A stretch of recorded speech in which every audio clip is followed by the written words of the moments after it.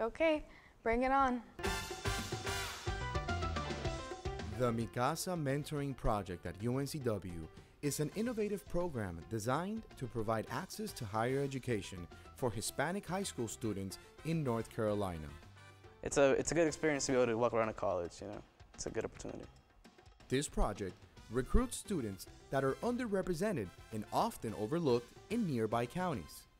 Mi Casa strives to empower these students to reach beyond their dreams.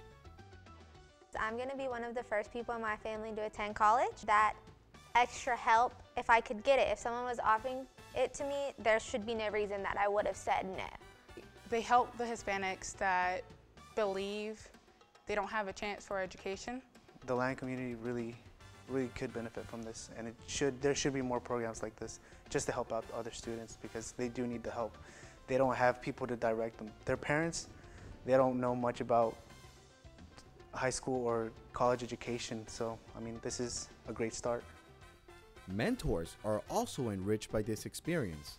They learn to become stronger students, stronger leaders, stronger individuals. During that time, I learned how to apply, what I needed to do in order to ensure I got into a decent university. Um, I made sure that my ACT scores were good. I kept my grades reasonably well. I volunteered. I love being a mentor.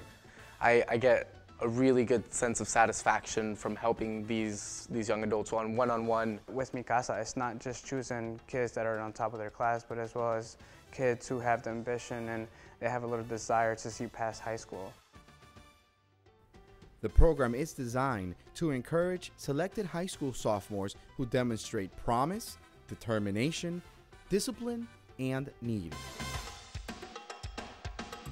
Mi Casa serves as a comprehensive support program that provides mentoring, college preparation seminars, tutoring, community service, and cultural enrichment activities in order to help the same high school students become compelling candidates for college admission and scholarly achievement.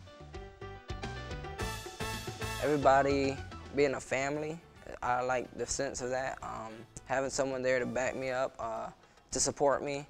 We complete each other. We're, we're all one.